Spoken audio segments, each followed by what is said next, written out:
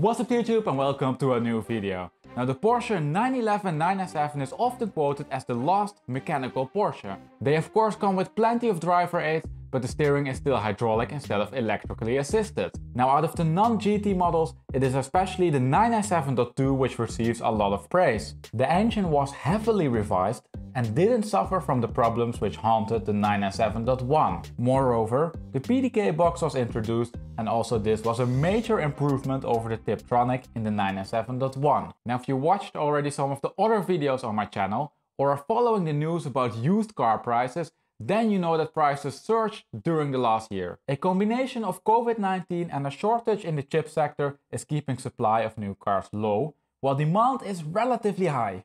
So I don't need to tell you that 997 values followed that trend and increased. The interesting thing over here is then also if the value development is different for the 997.1 and 997.2, or perhaps even among the different models, such as the base version, the S and the GTS. Moreover, it could be even so that there's a difference between the high and low mileage cars. That and more is what you will find out in this video, and as always I will first present to you the market as it is today before we have a look at the price developments. The following graph shows a high-level overview of today's market. We have the model year on the horizontal axis, the price in US dollars on the vertical axis, because we are looking at the US market, and you can also see that the market is split by model type and that the black axis show the median price points. Now then, let me point out some noteworthy things. In today's market there are 208 cars for sale and the median price for a 911 997 is $53,700. And for this price you typically get a car with around 44,000 miles.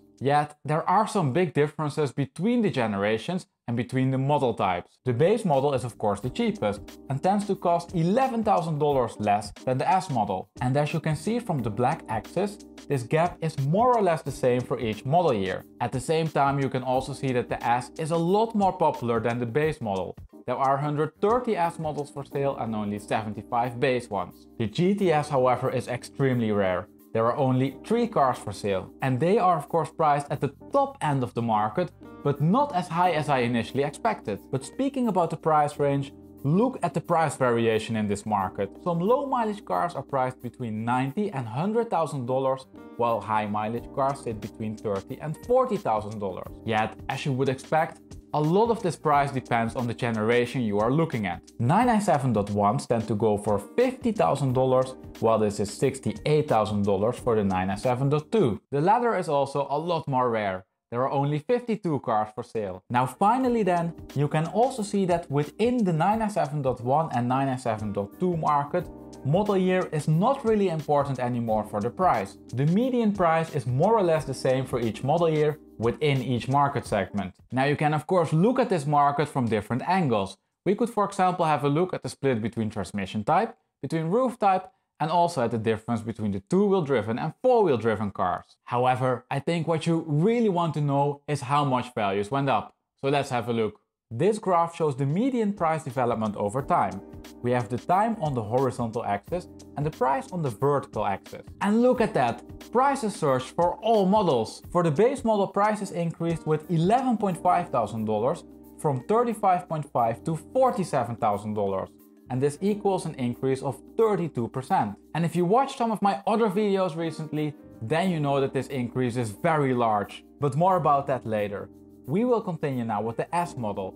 We can namely see that the price increase is almost the same as in the base market. Prices increased with $13,000 from $45,000 to $58,000.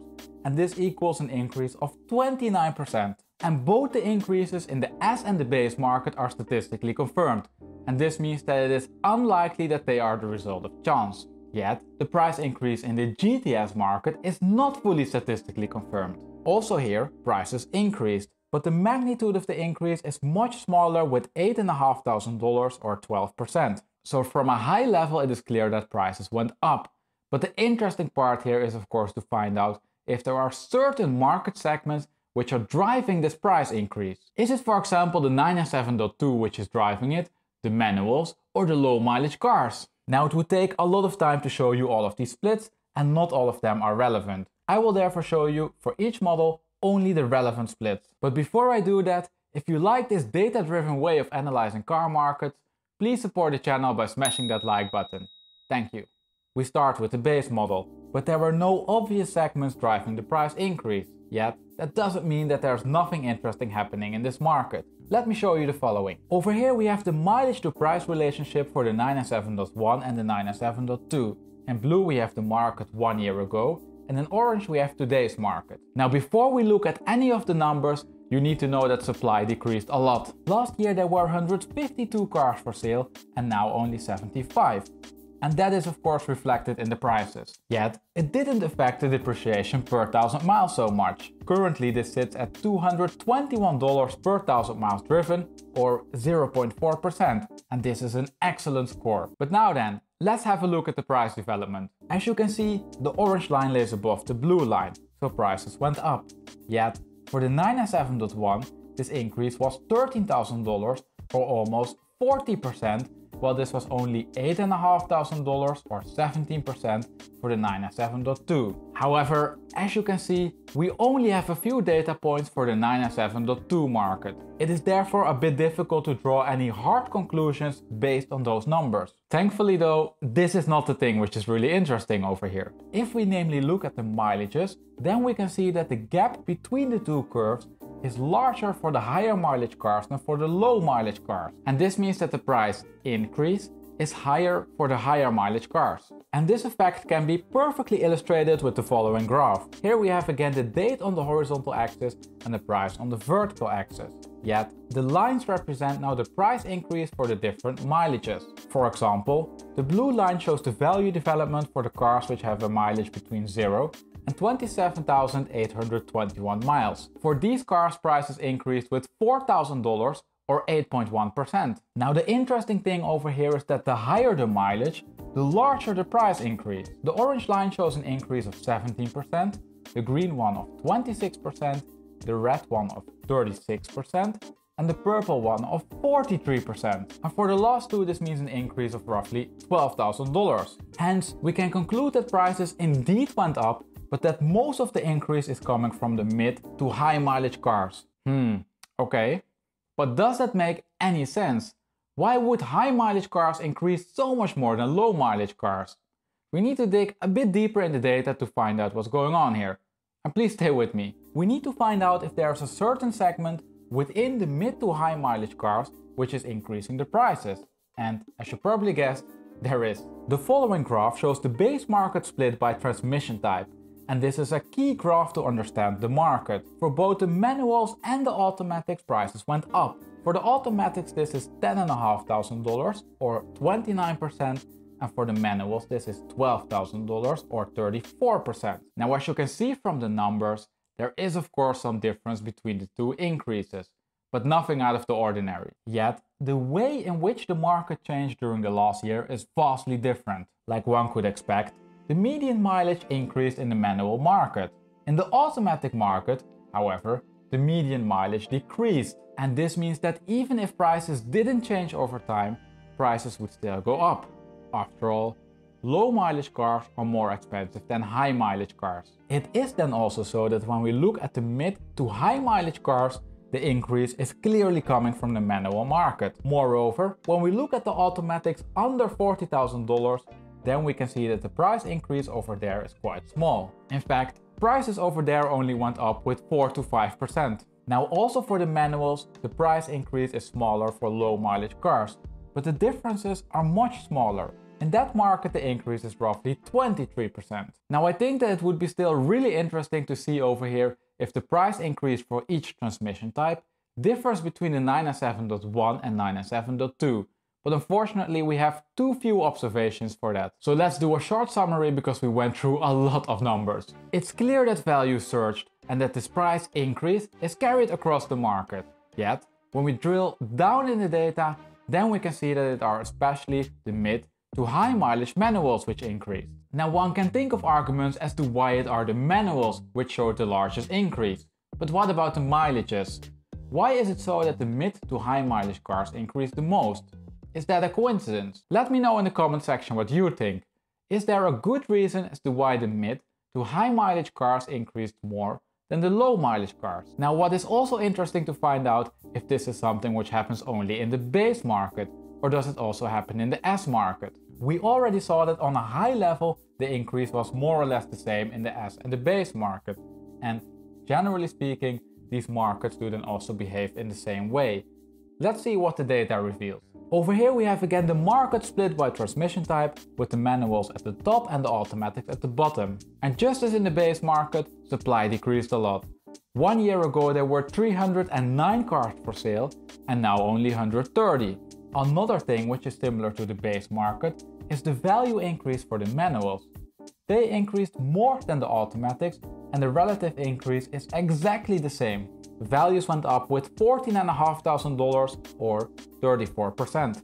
And most likely it's not a coincidence that the increase over here is the same as in the base market. So we're looking at a real price increase. For the automatics the increase is a bit less with $10,000 or 21%. Now a question which we can ask ourselves here and also answer is whether or not the price increase differs between the generations. After all, the 997.2 was upgraded with the PDK box, hence it could be so that the market prefers that box to a manual one. Let's have a look what the data says. The graphs over here are now split by two dimensions. On the left hand side we have the 997.1 market and on the right hand side the 997.2 market.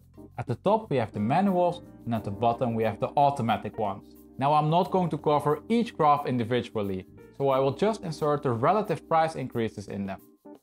We can see now that both in the 997.2 and 997.1 market, the manuals increase the most. Yet, we can also see that the increase is slightly higher in the 997.2 market than in the 997.1 market. Unfortunately though, the 997.2 market is extremely small these days and that makes it difficult to draw any firm conclusions. Nevertheless, if we go with what we have, then the increase would indeed be smaller in the 997.1 market. And this would confirm our hypothesis. But again, the data is limited, so keep that in mind. Now before we move on, there is still one thing we need to talk about in the S market.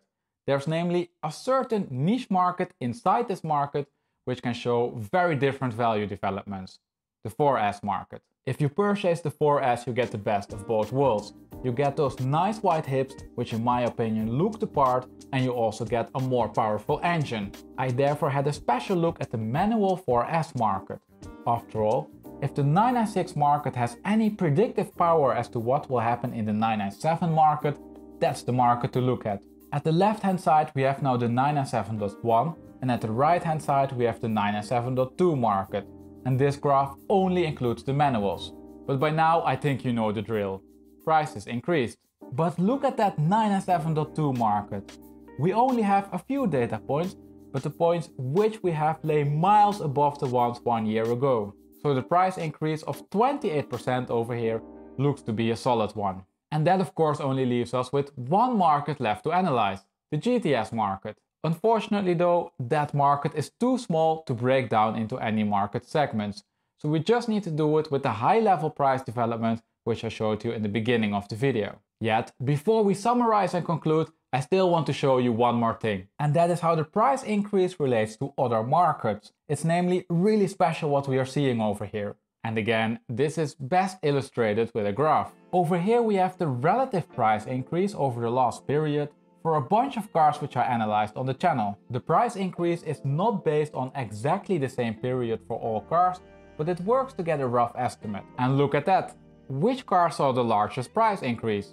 Exactly, the 911 997 Carrera. The increase is a multiple of what we have seen in other markets, and this really underpins the popularity of the 911 and the 997 generation. Like I mentioned in the beginning of the video, this might be the ultimate 911 for many. And with that, let's summarize and conclude. It's clear that prices increased. They increased a lot and they increased across the market. That's the key takeaway. All models increased with approximately the same percentage. Moreover, within each market, so the one for the base, the S and the GTS, there is not one market segment in particular which is driving the price increase. There are some nuances, but the differences are not night and day. For example, we saw that both in the S and the base market, the manuals increased more than the automatics, and that this goes for both the 997.1 and 997.2 in the S market. And that surprised me. Furthermore, in the base market, we saw that it were the mid to high mileage manuals which saw the largest increase. Finally then, we also saw that on a general level, the 997.2 market increased a bit more than the 997.1 market, but the differences over there are negligible. And all of these price increases in the 997 market are really severe. We namely compared these increases to some of the increases for the other cars which I've analyzed and we saw that the increase in the 997 market was the most severe. Now I don't have any data to back this up, but for my feeling this increase is more demand than supply driven. We all know that there is an issue with the production of new cars, such as the shortages in the chip sector. But are those people who are planning to order a brand new car really buying a 10 to 15 year old 911? Rather, I think that there is an increase in demand from people who are not affected by the pandemic, could save up a bit because of the lockdown, and decided that it was time to treat themselves. But this is just a thought.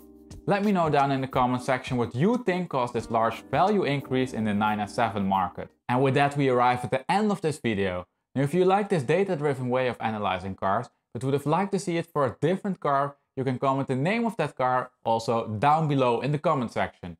Once there are enough requests for a certain car, I will make a video about it. Also don't forget to subscribe and click on the notification bell so you get actually notified when your requested analysis goes live. As always, thank you for watching and I hope to see you next week for a new video.